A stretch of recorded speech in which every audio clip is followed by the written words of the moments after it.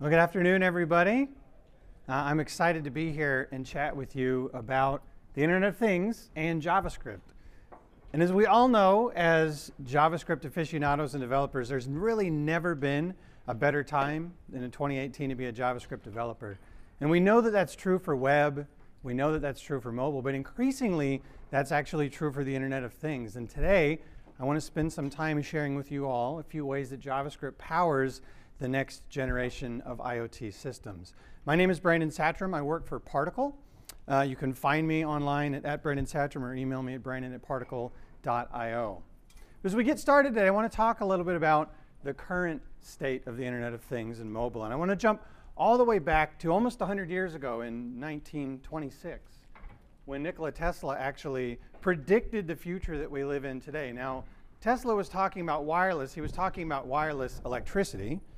Uh, it was definitely all the rage at the time. But he was right in the sense that we got to where we are today because of power, because of computing. And, and those things became more ubiquitous. The future that many of these luminaries, like Tesla, predicted is the future that we are in today, which is actually kind of a cool thing to think about.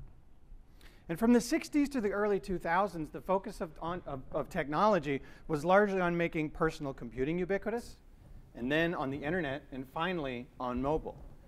But if you think back at all those trends, the whole idea was getting computers smaller and smaller and more and more common, right? Getting smaller computers in smaller devices and having more of those devices spread throughout the world. So it's really no surprise that as an industry that we would get to this point where we think, oh, well, let's just put the internet in absolutely everything. That led to a lot of the prognostication that we have all heard and maybe gotten a little bit of tired of over the last couple of years, this idea of billions of devices online and trillions of dollars in opportunity. But the reality is that there's an immense opportunity, there's immense potential in computing in general, whatever it is, whether it's mobile or whether it's embedded systems, connected computing, the Internet of Things, whatever you prefer to call it. Now, I'm sure that many of us are familiar with this ever present Gartner Hype Cycle. The IoT has a place on the hype cycle for emerging technologies, and this is where it is. It is sliding down, the, down the, the slope into the trough of disillusionment. It's actually kind of crazy to think that Gartner thinks that it's going to get worse for the IoT before it gets better, because I think that many of us feel like we've heard all of the crazy stories that there are to tell. Um, if you ever are bored on Twitter, I highly recommend following the Internet of Shit Twitter account. Uh, it is actually a fantastic account that points out all of the weaknesses and all of the things about the IoT that largely are hype. But the reality is that every emerging technology goes through a cycle like this, some faster than others. Gartner will admit that some technologies end up on this cycle and then drop off completely. But many of them go through this period where you go through a trough of disillusionment to find yourself in the slope of enlightenment or the plateau of productivity, right? When hype goes beyond, when a, when a technology goes beyond the hype and turns into a real solution, into a real set of technologies. I know that many of us have gotten tired of hearing about the IoT, but what's happening, the reason why technologies move out of this trough is because people start solving real problems. We move past internet connected toasters and refrigerators and doorbells, and we move into actually solving real problems, doing things that actually matter. And that's what I want to start by talking a little bit about today is I think if you think about the IoT and you're a little disillusioned, I would encourage you to look for more examples of companies that are actually attempting to solve real problems. And I'll share a couple of them with you today. These are a few of my favorites. One is a product called the SmartFin, and this is actually a green IoT initiative from the Scripps Institute of Oceanography. And the idea of this, this board, this is basically a fin that you can use to upcycle an existing surfboard and it has a couple of sensors and an IoT device inside of it. And the surfboard goes into the ocean, and it's meant to actually track board location, water temperature, the motion of each breaking wave, pH levels of the water, and more. And the reason why this is so important is because there are areas of the coastline that are very difficult for oceanographers to gather data about because the waves are very choppy turns out that's actually the perfect place that surfers like to go. And so this is an opportunity for surfers to actually contribute to oceanographic research and help us better the state of our oceans in the future. And that's a connected problem. That's a problem that can't be solved without connectivity, or at least not nearly as easily. Another example is OS Beehives. And this is, a, this is a startup that creates a product called the BuzzBox, which actually helps monitor the health and safety of beehives. They use a Wi-Fi module inside the board, and they also put all of their data in the cloud, and in the cloud have complex algorithms that can actually listen to the sounds of the bees in the hives to determine the health of those hives. They know, based on the sounds that are coming from the bees, whether or not the queen has died or abandoned the hive. And these, again, are things that you cannot do as easily without connectivity. And then the final one, and is probably my favorite, is EnviroFit. EnviroFit's mission is to change the ways that energy products like stoves are used in the developing world. They specifically create high performance, environmentally friendly cook stoves that are tailored to the cultural and cooking habits of their customers in emerging and underdeveloped countries. And because these stoves are tailored, they actually need to use the sensor data inside of those. They build a stove unique to the culture, unique to the country that they're working with. That country wants to know that their investment is worthwhile, so they use monitoring to determine how the stoves are being used. They, they check the emissions on the stoves to make sure that the stoves are, in fact, actually as environmentally friendly as advertised to be. And there's a lot in all of these cases, but I mentioned connectivity. In all three of these examples, connectivity is leading these companies to solve a problem that, could have, that would have been much harder just a few years ago. But these new forms of connectivity actually create challenges for people who have built embedded systems previously. The kind of individuals that spent their years as hardware and embedded designers definitely have a lot to learn in this new space. And this is where we, as front-end developers, as JavaScript aficionados, have opportunities to help in that space. Because the kinds of embedded systems that we built previously were very closed, self-contained systems. For instance, there was a machine on a flop on a shop floor that may have been a very sophisticated system with complex and embedded software. And if there was a monitoring system in place, it tended to be completely localized. And when the machine broke, well, you just you replaced the machine. That was the only choice that you had. well, where we are today with open systems is vastly different. Because connectivity is about more than just putting a Wi-Fi or a cellular modem on a board. In a modern system, connectivity is very much about insight and control. It's about moving our ability to visualize out of the shop floor itself and into the cloud where we can monitor and control devices from a larger distance. And it's also about enabling mobile control so that we can take action on our systems from anywhere and at any time. And finally, it's about leveraging the power of the cloud to use insights and to, to, to, get the kinds of insights that we could never replicate on a factory floor. The kind of insights that help us actually spot problems before they happen so that we can fix machines before they break instead of when it's too late. And this is the point that I want to underscore here, that IoT solutions are about much more than embedded hardware and software. It's not just about using microcontrollers and designing your own PCBs and writing firmware in C and C++. That is a very small piece of the puzzle, and it's where most of the opportunity, I believe, lies for us as developers.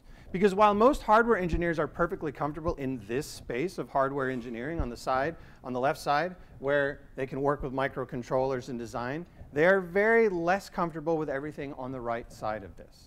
There are always exceptions to the rule, but for many, the IoT requires new skills beyond what those developers actually possess today. And if you think about that, right, if you think about that right side, web, mobile, and the cloud, there's a common thread throughout all of those that we as developers are quite familiar with, and that is JavaScript as the common denominator. Right, this is the thing that ties all three of these types of apps together and which can really better enable the Internet of Things. And that's, what I, that's where you come in, because as a JavaScript savvy developer, there's really never been a better time to, to dip your toe into the IoT and to actually help solve real problems. And that's what I, what I want to spend my time talking about today is these three different kinds of apps. But if you take nothing else out of the presentation today, take this, that I believe that IoT builders are actually the real full stack developers. There's my controversial statement for you for today. So let's actually take a look at these three different kinds of apps, starting with IoT web apps, most common. And why do we build these kinds of apps? Why are these kinds of apps actually important? Well, because they provide data aggregation, data aggregation and visualization. These are our simple dashboards and what's happening in our devices. Our devices are closed systems of the past, maybe connected to sensors and actuators. We want to know what they're doing, but it can be very difficult sometimes to really see what's going on inside those devices. The web gives us a window into what's happening on those devices. And because the web is extensible and platform agnostic, it tends to be the easiest thing that we can do to bring insight into our IoT systems. One example is a company uh, that's actually using the web to enable their IoT solution is a company named Roest that's based in Oslo, Norway. So they actually create a sample roaster that professional roasting companies can use to test out batches of green coffee beans before they employ their large-scale roasters. Uh, this is actually a really cool product, and it's an entirely self-contained unit. But they also use uh, they use the web to actually visualize the data that their roasters are seeing over time. So in addition to using the roaster on a roasting floor, you have a, a monitor that's showing exactly what's happening inside the machine itself so the company can monitor and figure out what they want to do with that. Now, in the context of an embedded system, there's two steps to getting your data out of those embedded devices and then doing something with it. The first part can be the most challenging part because in reality, not every embedded device that's been created in the past 30 or 40 years has an easy way for you to get that data off of it. It's only been in recent years that, con that connectivity options like Wi-Fi and cellular have been baked into a lot of microcontrollers that get, that get used in embedded systems. So that's sort of step A1, is that you need, to have a, you need to have an embedded system that actually can get data into the right place. And once you have that, your options are, are pretty simple. You can, use a, you can use something like MQTT to roll your own server. You can use TCP, IP. You can use TCP PubSub to get your own data into the cloud. Or you can use a vendor solution. I'll share particles in just a little bit. You can use PubSub for another solution to actually get data into the cloud. And then once you've done that, you're building the exact same kind of app that you're familiar with today. You can use Vue, Angular, React, Ember, really whatever it is to your heart's content. That's not the important part, because the important part really is getting you the data in the first place. And so uh, I am biased, I'll share. As I shared earlier, I do work for Particle. There are other companies that have options like this in the IoT space that I encourage you to check out. I'm going to share sort of our opinions about these things because I think uh, that, they're, that they are interesting and they're worth researching more. But this example code that I'm showing you on the left side is a piece of firmware that runs on a microcontroller. But what's unique about this firmware is the use of a particle, the particle.publish commands. Those commands essentially publish a cloud message that allows data on, data on a piece of firmware in, embedded, in, in an embedded system to make its way elsewhere for you to do something with. Now, the other side of that is, is, subscribing to messages. You can use particle.subscribe on the other side of a microcontroller, on another microcontroller, to actually respond to those messages. But you can also receive those messages from web, mobile, and in cloud applications as well. And what really matters beyond, underneath all of the layers in those APIs, is that you actually do need to have a good API if, a good API to make all of this work in the context of web, mobile, and cloud applications. Right? This is something you can definitely roll yourself. But as, as web developers, I think what we're all most familiar with is when we evaluate third-party tools, we look for a good API. We want to have actually something that makes it easy to call into that system, to receive messages from that system. And developing the IoT is no different. It should be no different. I very rarely quote myself in previous presentations, and this one is from so long ago when I was a much younger person. Uh, but I said five years ago that APIs are developer UX, and that's definitely true today in the web. It is absolutely true in the IoT. And I would expect that all of us, as we get into this space, that we would hold, we would hold our IoT solutions to the same standard. So of course I set myself up there because Particle actually does have a really nice device cloud API that I'm quite fond of. And that API makes it very easy for you to work with devices, with sensor data, with events, with fleets of products, and all of those are baked into a very RESTful API that is simple for you to work with. Now, having an API makes it very easy for you, going back to the context of web applications, it makes it very easy for you to actually build things with the web for mobile and the cloud. And in the context of the web, we have a node-based JavaScript library that is designed for working with the Device Cloud API. It's completely promise-based. It's very easy to start with. And I'm actually going to show it off to you right now. So let me go back to my displays.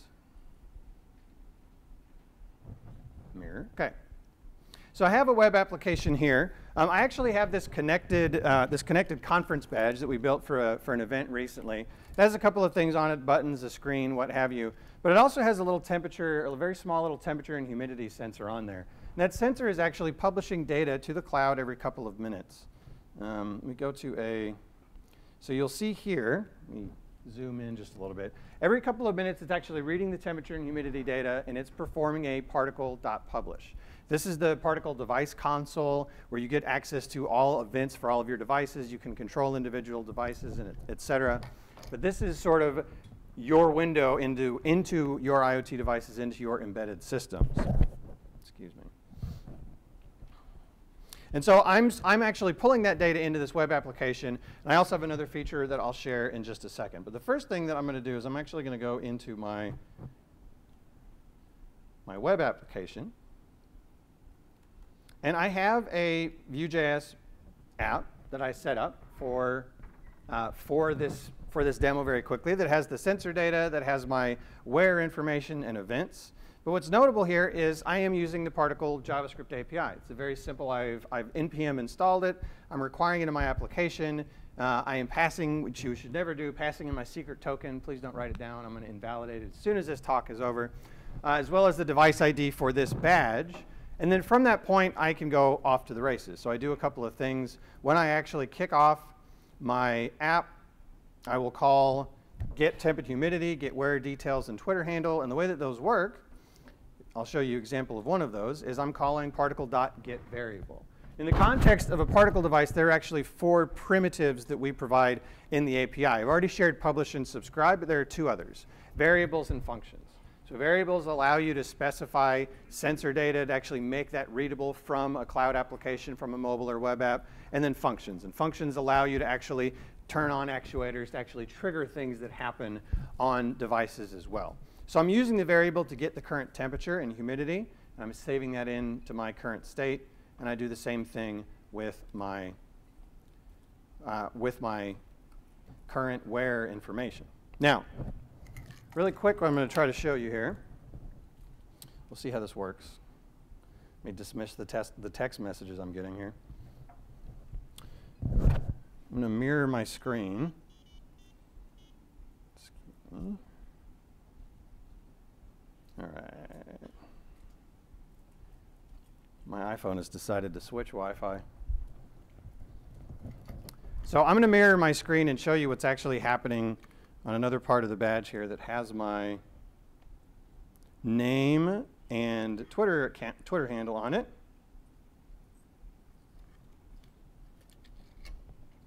Or maybe I'm not.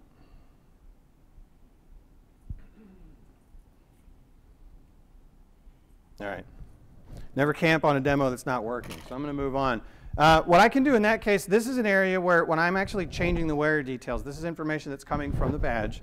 And I can, in this case, change that. If I change that to somebody else's name and change the, the Twitter handle and then click update, what happens in the app behind the scenes is I am going to call We'll go to update Twitter handle as an easy example. But in this case, instead of reading from a variable, I'm calling the function. In this case, the function is update Twitter. I'm passing in the new Twitter handle and then reading the promise to determine how everything happened, right?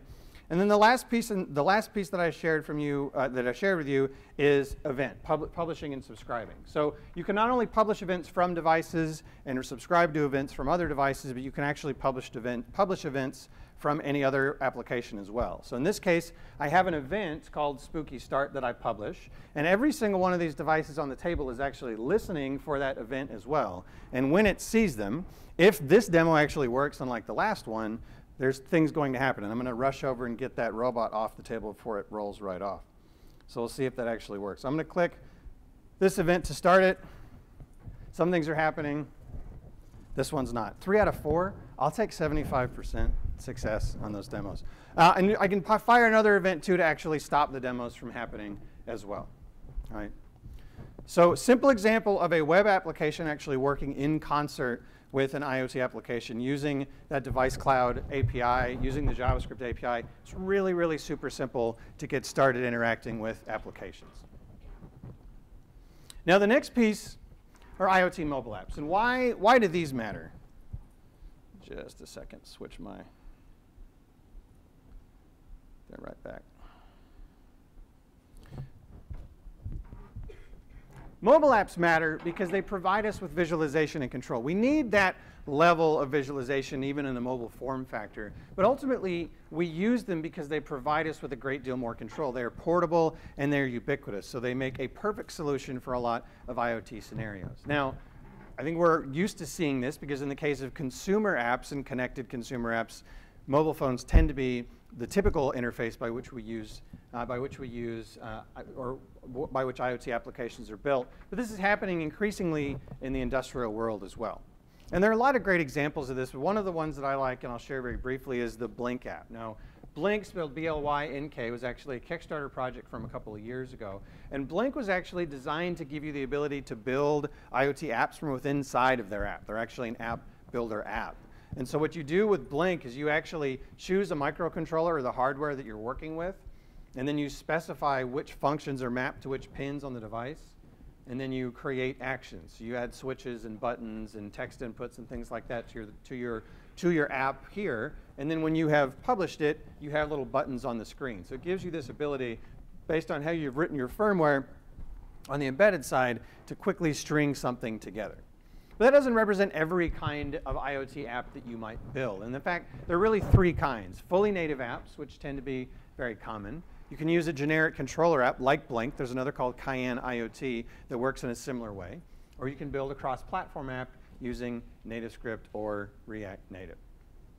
Now, Particle actually provides SDKs for mobile development. So if you are choosing to go fully native, we actually have support for uh, iOS, Android, and Windows both Objective-C and Swift. But one of the things that's, uh, that's amazing for JavaScript developers related to this is because we have full SDKs for mobile development, we also had the ability to create a, a native script plugin using those Particle SDKs. And our great friend, Eddy Verbruggen, uh, with the help of, of Rob and Jen Looper and others, were really gracious in getting us and, and working on this plugin and releasing it a couple of months ago.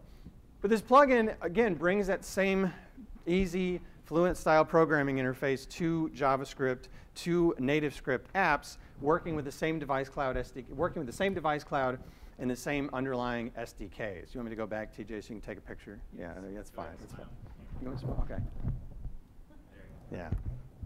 Um, and this is really exciting. I, have been excited about this. I know that um, I know that Jen is super excited about it because she's been doing stuff with Particle and NativeScript for a while as well. Uh, and this, is, this has been a lot of fun for me to work with, so I'm actually going to demo this to y'all right now also. Now, I have a mobile app. That mobile app is a, shut down my web demo now. Where'd my mouse go? There it is. Okay. My mobile app does a, does a couple of things for me. So I have a NeoPixel strip inside of this pumpkin. And I can actually start flickering it. In fact, I'm going to, let me shut this down and I'm going to rerun it. So while I'm talking real quick. That was the web one. So there's a couple of things going on. Let me, I'll bring this down a little bit. Okay. So this is a NativeScript Vue application. Um, really, really big fan of Vue.js recently. I'm a recovering React developer. I'll say that. I, yeah, Vue, Vue's pretty fun. I've enjoyed it a lot. Um, and so I built a simple NativeScript Vue app that uh, just has a couple of sliders on it, and then it has a few buttons that do a few things. Oversimplification, but that's effectively what's going on here. Uh, in the case of actually using the NativeScript, the NativeScript particle plugin, it's a simple matter of calling a couple of import statements, and once I've done that, getting a new instance of the particle object. I have a couple of consts that represent the device IDs for my NeoPixel strip and for uh, these, two, these two things over here that, I know this one's still not going to work again. That's all right. And then the first thing that I do is I log in. And then I am calling my local devices. So I'm calling particle list devices. This gets back from the SDK a collection of all of my devices and information about them.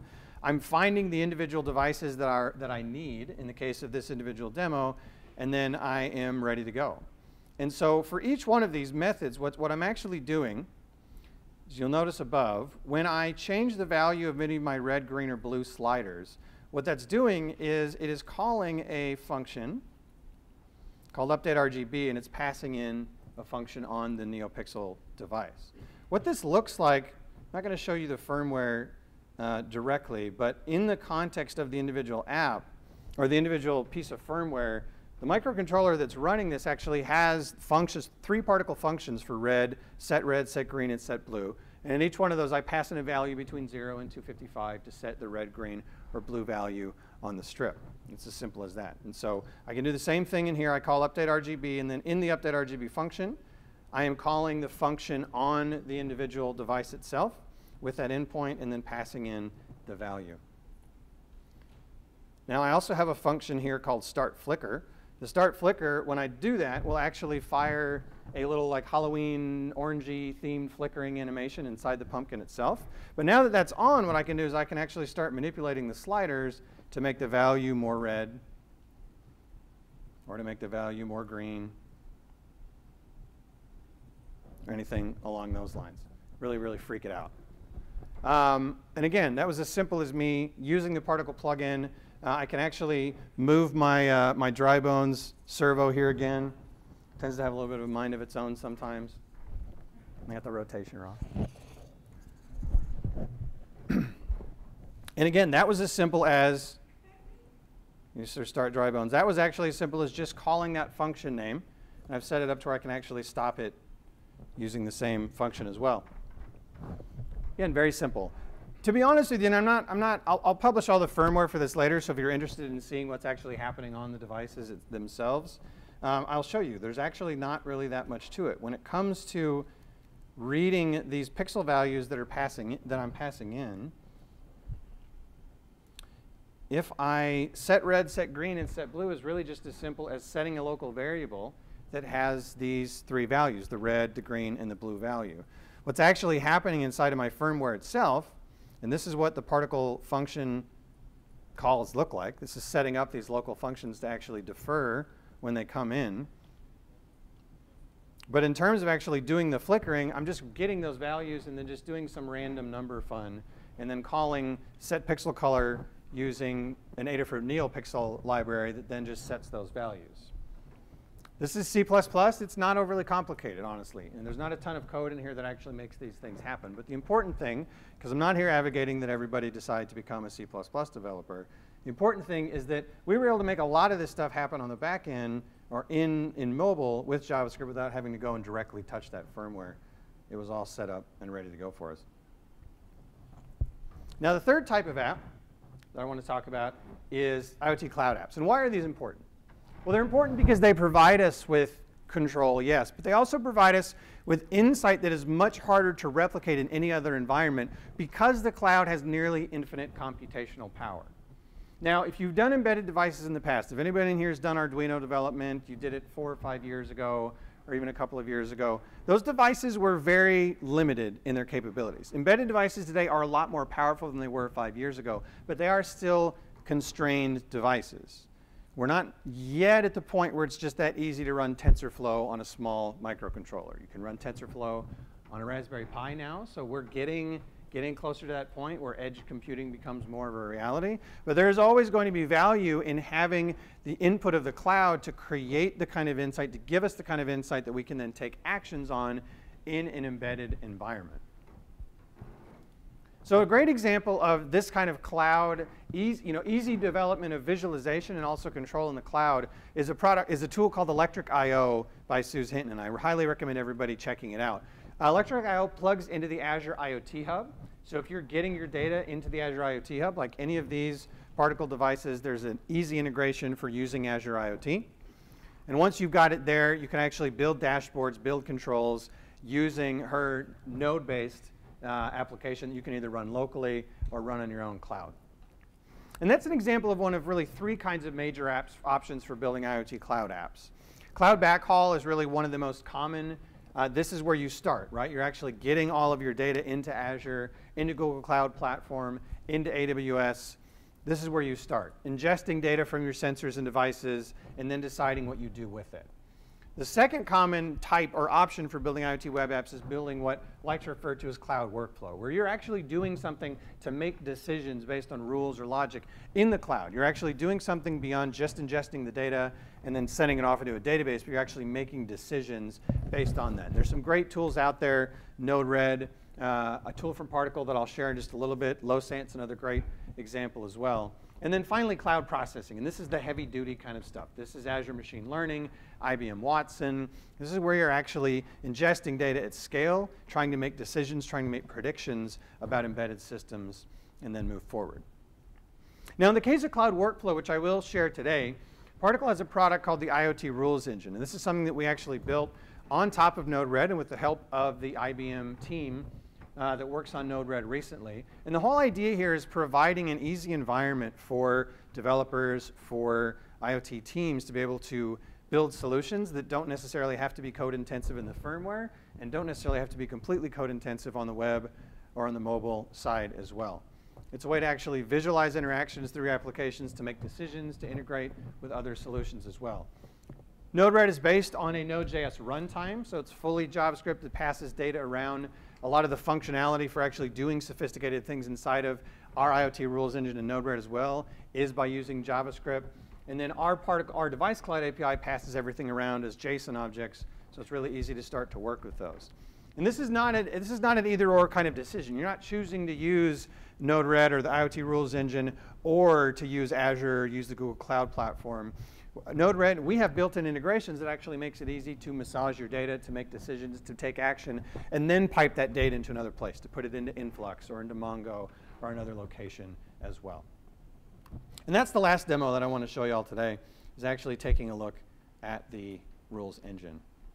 So I have a couple of different examples here that I want to show. I showed you already that my badge is actually pushing, um, is actually pushing data. Oh, that's not good. Let's hope I get better ones down here. Let me clear that out. So the advantage of the publish and subscribe semantics on, the, on devices is that, as I mentioned earlier, you can use those absolutely anywhere. In this case, we can actually subscribe to messages inside of our devices as well, inside of uh, a, a rules engine application. And so a few important context, uh, context items to share here is that on your, your canvas here, this is what's referred to as a flow, right? So this is a series of actions that take place based on, based on sensor data, and you're doing something with that data and exiting out the other side. Every individual block is called a node, and that's where the individual work of the application actually happens. So in this case, for my environmental sensors, I'm looking for an event called end sensors. Every two minutes, that's coming in. When I get it, I want to do something with it. I'm going to actually convert the payload to JSON. It comes in as a JSON string, so I will make that full-on JSON, and I will log, I will debug the payload so that I can take a look at it. But then I can do a couple of interesting things. One is I can actually use these UI, UI nodes that allow me to create a very simple dashboard that shows me what sort of information I'm getting about my devices. So I can log the temperature and humidity. And this is a very, very simple set of semantics that allow me to create gauges and charts and graphs using the data that actually comes in. So I specify the value format, message.payload.temp. That's actually the temperature value that's coming in. And same thing with humidity, and then I create a graph. And what I get on the other end is I actually get very easy, I didn't have to write any of this myself in the context of someone who's trying to prototype an easy, quick and dirty IoT application. The rules engine actually makes it very simple for me to get dashboards up and see what's actually going on with my application. But there's more. There's more that I can do. It's not just about getting data in from devices, but also actually being able to control devices and do something out on the other end. So I have another example here where I'm actually running, I'm, I'm running a command every five minutes. Every five minutes, I'm triggering a new flow here. And what I'm doing is I can, I'm actually going to the Open Weather Map API to get the forecast for Boston. This comes to me back as a JSON object, so I know that I can work with it easily. So I get, the, I get the forecast for Boston, I convert it to a JSON object, and then I'm doing a couple of different things. One is I actually am adding to my UI piece, and I'm, I, I added a uh, what's called a template node, which actually allows me to do simple Angular style templating inside of the rules engine. And I can specify, I want to get the weather description, and I'm, just, I'm basically just going to provide some information about the current conditions of the application, or of the, the weather in the current location. So you'll see that's here. Currently broken clouds in Boston, outside temp is 49, humidity is 45%. The rules engine makes it really easy for me to create those sorts of, uh, those sorts of things in my app. But I'm also going to do something a little bit more sophisticated, and this is where the actual JavaScript programming comes in. I mentioned earlier, function nodes are written in JavaScript. So this is when, again, we have an opportunity to contribute to the IoT here. And so what I'm doing in this case is I'm going to I'm going to I'm going to look at the, the, the temperature that comes in from the payload. And if the temperature is under 40 degrees, I'm going to pass a message that it's cold. If it's if it's between 40 and 80, it's nice. Otherwise, it's going to stay as hot. And that payload ends up going into a publish event. That publish event is a local temp event that this individual device is looking for. And so when this device hears that event, it's actually going to turn on the NeoPixel strip based on the color command that I gave it, or based on whether I said it's hot, it's nice, or it's cold outside. So if I redeploy that flow, and then go to my debug node and ignore the strange messages that are coming along. So you'll see that I passed a payload of nice, right? That actually turned the light, the NeoPixel strip on here green. That in my firmware uh, signifies, hey, it's nice outside, it's green, you can go outside, the grass is growing. But the reason why this is interesting and important for us as IoT developers is let's say that I decide, actually 49 degrees is not nice. I'm from Texas, it's still friggin' cold, okay? I'm not going outside after this. I'm staying inside until I leave for the airport tomorrow. So I'm going to come in and I'm going to change this rule to say, okay, if it's under 50, it's cold. And if it's between 50 and 80, it's nice. And I'm going to redeploy that. And then now you'll see, okay, it's 49. The NeoPixel strip has turned blue. I was able to make a change to my app and how it functioned without having to go in and recompile and reflash firmware to the device. I was able to use the rules engine to help make that happen. And again, we are powerful JavaScript developers that can actually contribute to this space by using these kinds of tools and technology. So as I close today, I want to spend a few minutes talking about this idea of real IoT. I mentioned earlier that we were trying to solve real problems to get the IoT out of this trough of disillusionment.